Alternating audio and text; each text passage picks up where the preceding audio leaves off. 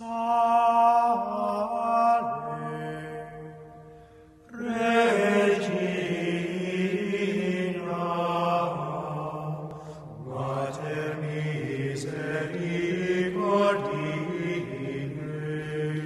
be Jesus and Mary.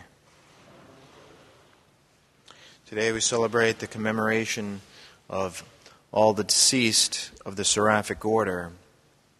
And we might ask ourselves, what's the point of this celebration since we just celebrated yesterday the commemoration of all souls?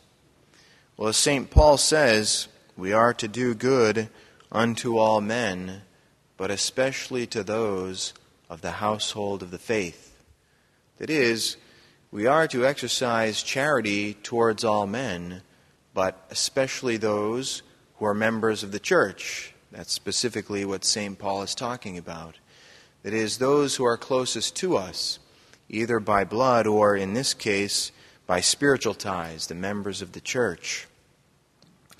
When our Lord says that we are to love our neighbors as ourselves, there's nobody who is more our neighbor than the members of our family. And in the case of religious, the members of our spiritual family, the members of the Seraphic Order.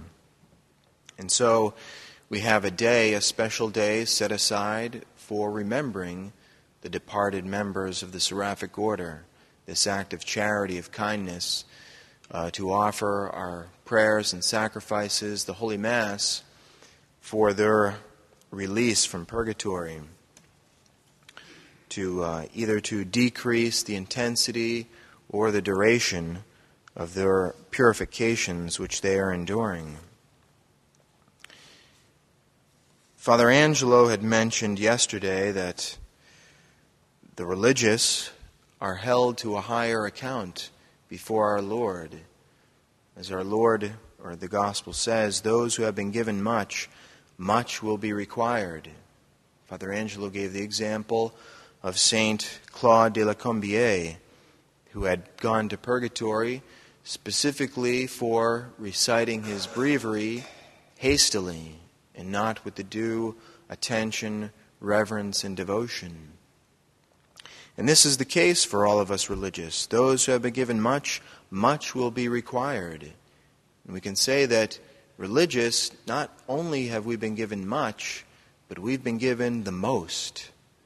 St. Maximilian Kolbe says that God cannot confer a greater grace on the soul than the vocation to the religious life.